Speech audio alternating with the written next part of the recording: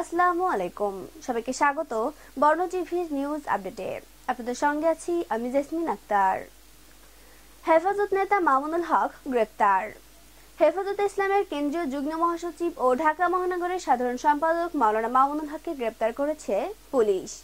রাজধানীর মোহাম্মদপুর জামিয়া রহমানিয়া মাদ্রাসা থেকে তাকে গ্রেপ্তার করা হয়। গ্রেপ্তারের বিষয়টি নিশ্চিত করেছেন ডিএমপির তেজগাঁও বিভাগের উপকমিশনার হারুনা রশিদ। জানা যায়, মোহাম্মদপুরের মাদ্রাসা থেকে তাকে দুপুরে পৌনে একটার দিকে তাকে গ্রেপ্তার করা হয়।